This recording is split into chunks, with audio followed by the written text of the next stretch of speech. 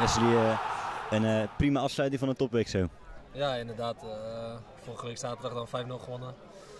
Door de week denk ik een hele mooie wedstrijd gehad tegen het Graafschap die winnend afsluit. En vandaag ook prima resultaat denk ik. Ja, vandaag een prima resultaat. Verdediger misschien niet zoveel weggegeven en ja, twee gemaakt, dus prima resultaat zo. Ja, inderdaad. je weet dat het vandaag zwaar gaat worden. Je hebt dinsdag 120 minuten in de benen. Dus, dus ja, en dan kom je ook op, op, op dit veld te spelen. is best een zwaar veld. Nou goed, dan komt het aan op een stukje strijd en karakter. Ik denk dat we het heel goed hebben gedaan. Uh, wat je zegt, uh, niet heel veel weggeven, een paar keer spelervattingen die, uh, die gevaarlijk werden voor hen. En ik denk dat wij effectief, effectief zijn geweest in, in de aanval met twee goals. Ja, op een fase na rust hebben jullie eigenlijk de gedomineerd en na de rode kaart was het uitverbollen.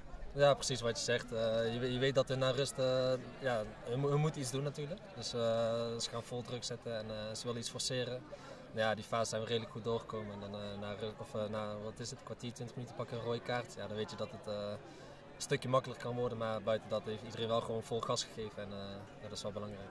Dus. Ja, de stijgende lijn is ingezet. Ja, inderdaad. Dus mogen we mooi vasthouden zo.